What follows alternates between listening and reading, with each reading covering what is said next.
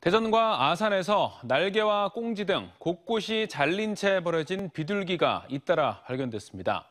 유해 조리로 분류되면서 도심 속 비둘기들이 천덕꾸러기 취급을 받고 있다 하더라도 날개 절단은 명백한 동물 학대 범죄로 처벌 대상입니다. 이수복 기자의 보도입니다. 지난 1일 아산시 배방읍의 한 아파트 단지에서 구조된 비둘기입니다. 언뜻 봐선 이상한 점이 없지만 날개를 펴니 절반 이상 잘려나가 있습니다. 가위 같은 날카로운 물건으로 잘린 흔적이 있습니다.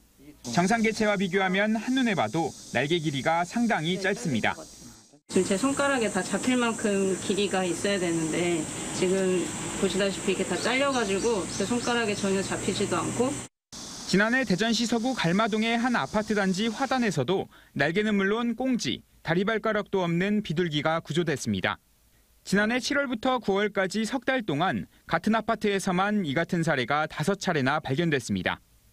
인위적으로 사람이 잘났다고 볼 수밖에 없는 절단된 모습이었고요. 경찰에 수사도 의뢰했지만 아직 누구의 소행인지 밝혀지지 않았습니다.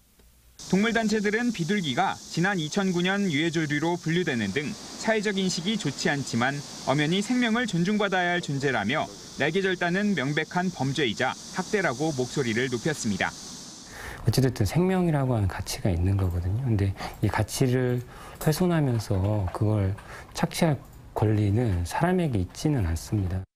동물에 물리적으로 상해를 입히는 등 학대를 했을 경우 동물보호법에 따라 2년 이하의 징역 또는 2천만 원 이하의 벌금이 처해집니다.